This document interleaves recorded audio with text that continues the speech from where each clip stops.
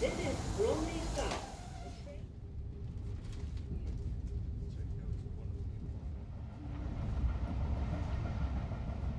catch the train and quite often um, it's late in every morning. Um, we just don't have the sort of service. I feel so terribly sorry for everyone that sort of has to be in at a certain time and they just can't rely on the service.